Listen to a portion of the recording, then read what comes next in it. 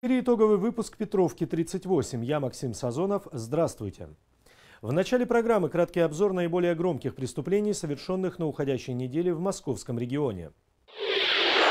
Семь участников хорошо законспирированного террористического подполья задержаны на территории столичного региона. Мужчины, которые являлись членами запрещенной в России организации «Исламское государство», активно вербовали новых участников, а также организовывали разбойные нападения в разных регионах страны. У бандитов изъято оружие, боеприпасы, а также экстремистская литература. Возбуждено уголовное дело. Преступную группу, которая снабжала нелегальных мигрантов поддельными документами, разоблачили в столице. За организацию незаконной миграции перед судом будут отвечать 18 человек. Злоумышленники встречали земляков на столичных вокзалах и предлагали им быстро и без лишних хлопот получить необходимые документы. Во время обысков полицейские изъяли поддельные паспорта, бланки, оттиски печатей и оборудование для изготовления подделок.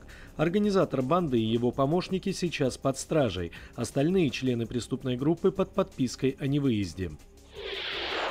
На юге столицы жертвой мошенников стал 92-летний москвич. На улице к нему подошли незнакомцы и попросили помощи в получении денежного перевода. Пожилой человек снял со своих счетов более миллиона рублей и отдал их злоумышленникам в ожидании, что деньги ему вернутся в виде перевода, который должен был поступить мошенникам. Трое подозреваемых задержаны, двое из них ранее уже были судимы. Теперь им придется отвечать за мошенничество. Почти 4 килограмма героина изъяли столичные наркополицейские у приезжего из ближнего зарубежья.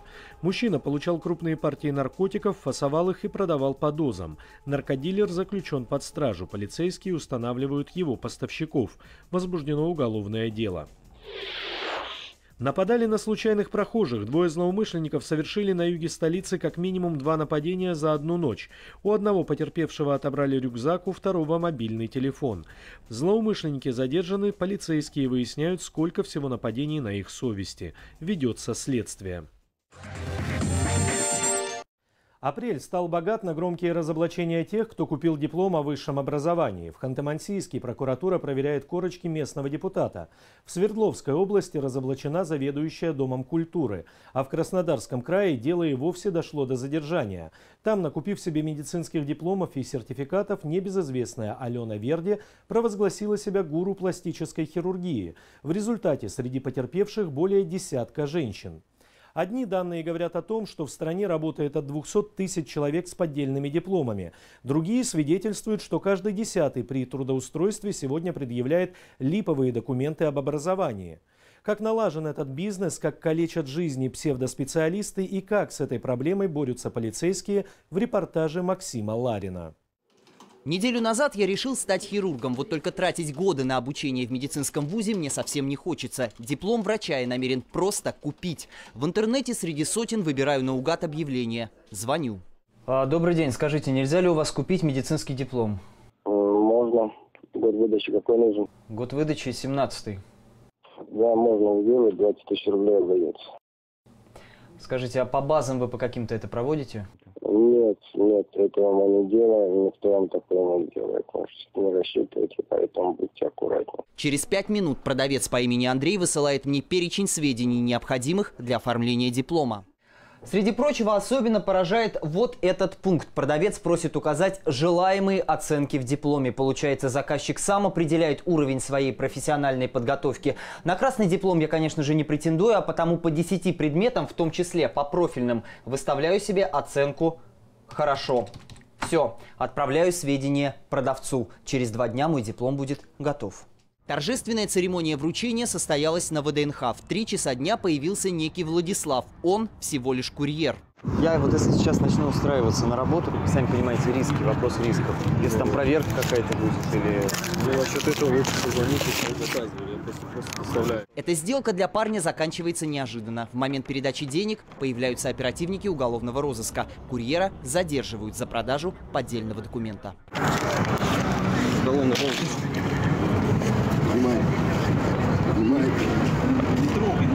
Корочки диплома специалиста. А вот и вкладыш с оценками. Если верить этому документу, за два дня я без особенных усилий стал врачом общей практики. 20-летний Владислав своего работодателя никогда не видел, только созванивался и переписывался, а дипломы забирал из различных тайников по всей Москве. Работаю примерно месяц. За это время отвез 6-7 заказов. Он мне сказал, просто как он до этого говорил, кажешь сам за себя. Ну, то есть ты сам будешь отвечать. Если ты согласился работать, если тебя поймают, ты сам за себя отвечаешь. Чтобы раскрыть преступление, надо выйти на изготовителей фальшивых документов. И все их уловки хорошо известны сыщикам. Все дистанционно, то есть на телефоне. И, как бы используют э, не, непосредственно не один и тот же номер, а в каждом случае практически разный э, абонентский номер. Сделка получилась, успешно все прошло, все, он меняет абонентский номер, в том числе и телефонный аппарат, так как он имеет тоже свой серийный номер, по которому возможно тоже также выйти на него. Оперативники говорят, как бы злоумышленники не запутывали следы, большинство из них рано или поздно оказываются на скамье подсудимых. На этих кадрах один такой делец уже в наручниках. Столичные оперативники задержали его с поличным, когда всего за 2000 рублей он пытался продать диплом журналиста, который сам же и изготовил. В квартире у злоумышленника провели обыск и обнаружили поддельные печати разных вузов, в том числе самых престижных. Вы взяли диплом, да, поддельный? Да. Что дальше? Передал человеку. А в этой квартире в Новой Москве обосновалась целая группировка. Семь злоумышленников на дому штамповали документы на любой вкус, в том числе дипломы о высшем образовании и аттестаты зрелости. Цена вопроса от 15 до 80 тысяч рублей.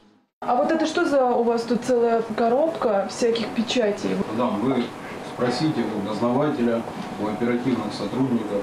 То есть они знают, а вы нет? На все вопросы я буду отвечать в присутствии адвоката. За подделку документов всем задержанным грозит до двух лет тюрьмы. А эта женщина как раз одна из владельцев фальшивого диплома медицинского вуза. Много лет подряд она именовала себя лучшим пластическим хирургом Южного федерального округа. Ее зовут Алена Верди, но пациентки дали ей другое имя – доктор Франкенштейн.